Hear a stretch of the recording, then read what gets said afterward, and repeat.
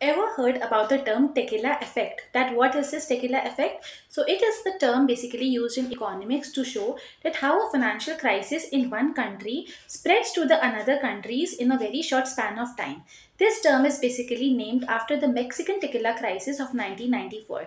Now let us understand that what is this tequila effect.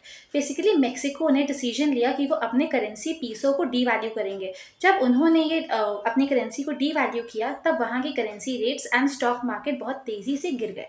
इसकी वजह से क्या हुआ कि जो इन्वेस्टर्स थे, जिन्होंने ऐसी सिमिलर कंट्रीज़ में इन्वेस्ट कर रखा था, जिनकी इकोनॉमिक वलनरेबिलिटीज़ बहुत ज़्यादा थी फॉरेन कैपिटल पर डिपेंडेंस बहुत ज़्यादा थी करेंट अकाउंट डेफिशिट ज़्यादा थे, उस केस में क्या हुआ कि इन्वेस्टर्स को एक लॉस ऑफ़ फेथ हुआ कि मतलब जो मेक्सिको के साथ हुआ, वो कहीं ना कहीं मतलब हमने जिन कंट्रीज़ में अपना पैसा इन्वेस्ट कर रखा है, हमारे साथ भी हो सकता है। सो एज अ रिज़ल्ट जो इन्वेस्टर्स थे, उन्होंने अपने फंड्स को क्या किया?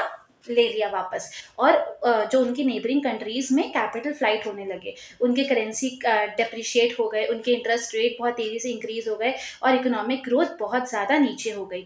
अब यही था हमारा टेकिला क्राइसिस कि कैसे मेक्सिको की एक क्राइसिस उनकी नेबरिंग कंट्रीज़ में क्या हुई? स्प्रेड हो गई। Now what should the countries do उनको एक प्रॉपर क्राइसिस मैनेजमेंट अपना सिस्टम बनाना चाहिए, जो इकोनॉमिक फंडामेंटल से उनको स्ट्रॉन्ग करना चाहिए, ताकि वो इन्वेस्टर्स का ट्रस्ट क्या कर सके? Build कर सके this was a tequila effect Uh, and it was named after the Mexican tequila crisis of 1994. I hope you have understood the video. If you uh, have understood, like, subscribe and share. Thank you.